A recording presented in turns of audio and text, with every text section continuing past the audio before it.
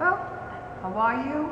We it's 2012, and here we are at the Cherry Festival, and we're at the library. No, no, we're not at the library. We are we're at the post office, and it's been turned into a postal museum, a federal postal museum, and this is where they are hosting the posters.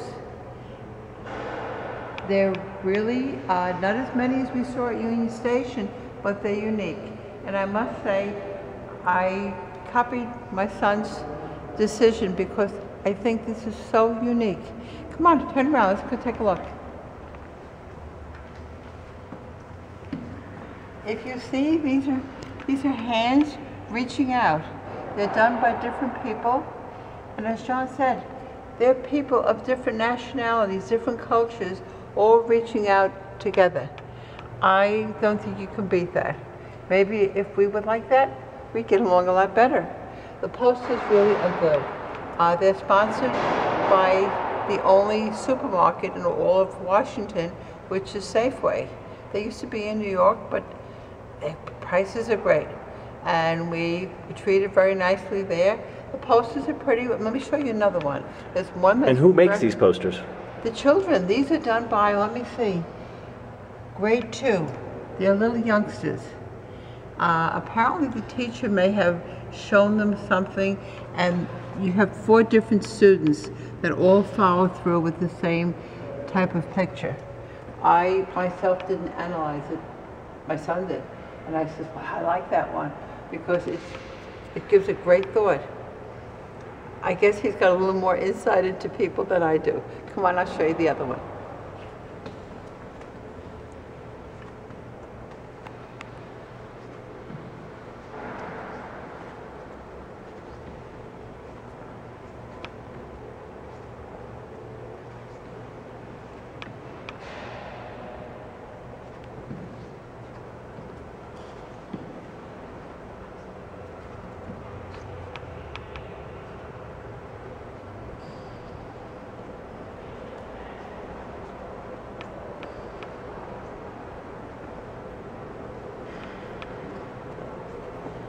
This whole wall really has got beautiful pictures.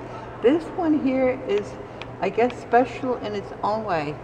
For several years, we saw them around the water basin building the tribute to Martin Luther. This is what this child has depicted. The children are watching. Here are all the cherry trees around it. This is truly what you see. It's a huge, huge, monstrous piece of granite. And Martin Luther is, I guess, how would you say? His first year, his statue is on display, and it's the 100th anniversary of the festival. It truly, truly looks like the man. It's fabulous that they could chisel into this granite or mold it to that. Incredible. And these pictures, I think they're great. Take a look at this one. This is cherry blossoms, young people falling in love, uh, children, little guys walking with a dog. I think this one is great. And here's another special one. They're all out together. They kind of look like little Amish children because they have little hats on their heads. But it's, it's great. Apparently this teacher worked very hard with the children. Every poster from this class is vibrant. Look at this one.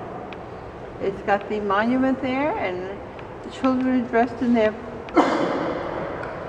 lively clothes. It's just great. Look, the excitement. Maybe we all have that kind of, oh God, they're even in love.